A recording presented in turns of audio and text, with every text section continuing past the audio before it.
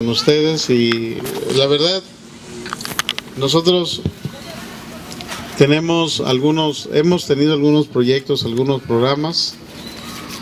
Yo creo que esos cursos serían hace hace un año hace un año menos de año fue después no de la Fue antes, de las contingencias. Muy bien. Eh, qué cursos fueron Nos dieron la de, a nosotros nos dieron la de atención a comensales y la de mesero.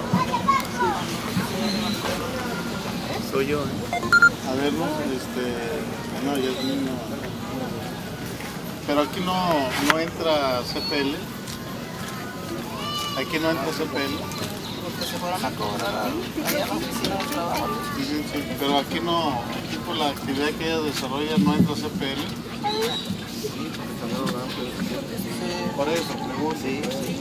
Entra CPL. Este, ¿cuántas, cuántos, cuántos trabajadores tendremos? ¿Cuántos No, traba- nosotros en total somos 44 locales con de artesanía. ¿Cuántos, reci- cuántos trabajadores- recibieron en el curso? Nos dieron 2.500. No, no.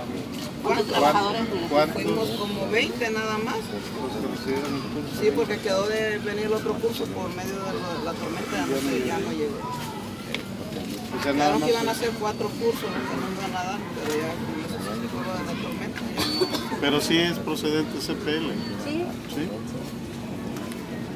Este, lo vemos el lunes, el, no, ya el miércoles. Lo vemos el miércoles, este, estaría Yasmín muy al pendiente. Este, para ver si es. Vamos a ver el lunes cuánto nos queda de presupuesto. Para saber si a cuánto podríamos beneficiar. Pero yo creo que como el jueves, más tardar el viernes de la próxima semana pasando el puente, creo que ya le estoy quitando el tiempo porque ya es puente. Ya, ya, ya, es Ya sábado, pasamos el puente, sí. ya es sábado de puente, Que no hay nada. no hay nada. Bueno, yo creo que como jueves o viernes de la próxima semana estaríamos informándole este, a la señora Neida, perdón, Enedina. a la señora Enedina estaremos informándole eh, la, la posibilidad de, la aplicación de esos cursos. Este, yo creo que más tardar el viernes de la próxima. Pero la intención es, mire, por parte de mi secretaría le soy sincero, no vamos a poderle resolver el problema. Vamos a mitigarlo nada más. Son otras dependencias las que tienen que hacer su estudio, su trabajo de infraestructura para que ustedes puedan ir resolviendo esos problemas.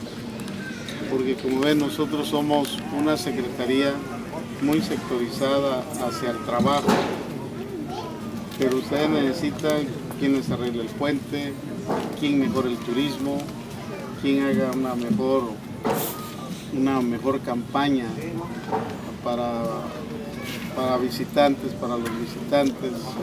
Yo cuando menos me metí en el movimiento para que la, que la caseta se mantuviera al mismo costo. Ahí nosotros tuvimos mucha intervención para que no se aplicara nuevamente la tarifa a la autopista.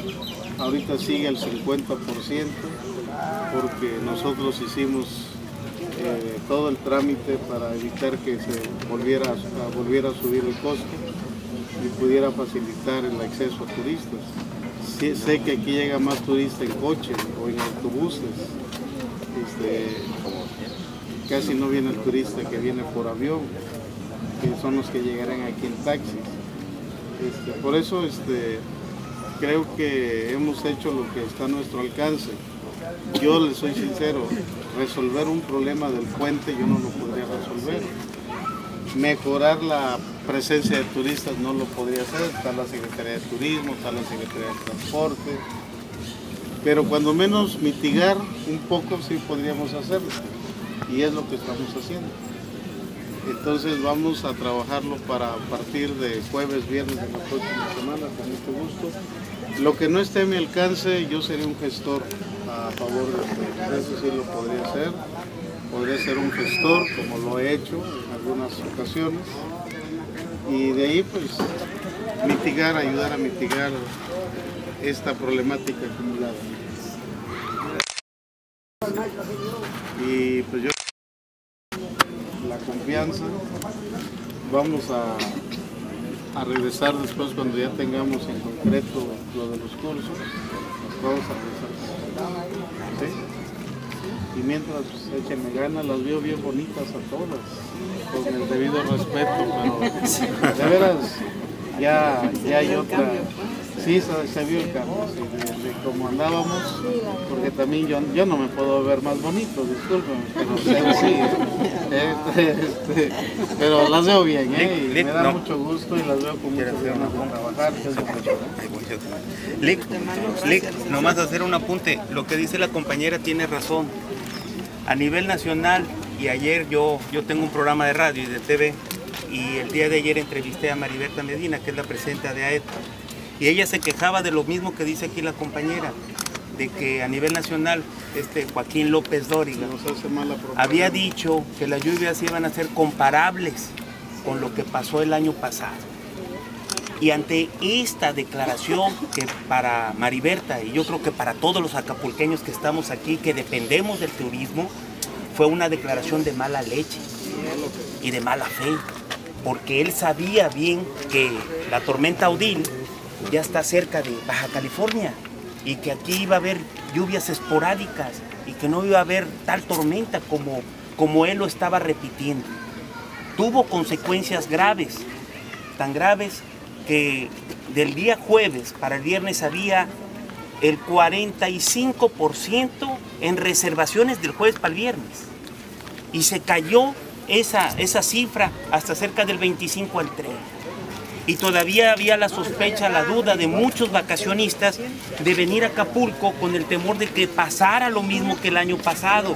Y todo por una declaración irresponsable de este comunicador que se dice que quiere Acapulco, pero no es cierto. No es cierto. Ese quiere a Cancún porque no dice que allá sí está lloviendo a cántaros. Nomás acusa a Acapulco para que la gente, el turista, se vaya a otros destinos donde él tiene intereses. Lo que dice la compañera es cierto, pero lo que dice el licenciado López Rosas es aún más cierto. Con el esfuerzo de ustedes y la buena atención que le den a un turista, eso no tiene comparación en ningún lugar del mundo. Ustedes le dan ese calor al turista, ese recibimiento que ustedes tienen, eso, ese calor, el buen servicio. Ustedes continúen así y verán que cualquier campaña negativa no va a tener eco porque ustedes son los principales promotores de que el turismo regrese. Échenle ganas de verdad, échenle muchas ganas y van a ver que esto se va a recomponer rápidamente. Ustedes tienen en sus manos esa posibilidad. Licenciado López Rosas, él es un promotor incansable, él donde quiera que va, ya hemos, hemos recorrido desde Lomas, desde Lomas de Chapultepec, Plan de los Amates, ya venimos para acá y donde quiera es el mismo recibimiento, pero lo más importante que es la fuerza que mueve al estado de Guerrero, a donde quiera que vamos, son las mujeres, son ustedes el motor de los hogares, el 30% de los hogares está capitaneado, está dirigido por una mujer. ¿eh? Aunque luego está, el esposo, pues, pero a veces no, no coopera mucho, pues, pero, pero ustedes las mujeres son el motor, el motor que mueve el estado de Guerrero, donde quiera. Las mujeres son las primeras que levantan la mano, las primeras que proponen, las primeras que insisten, las primeras que motivan al marido, párate de la hamaca, ahora le vámonos a trabajar. Ustedes son el motor importante del estado de Guerrero.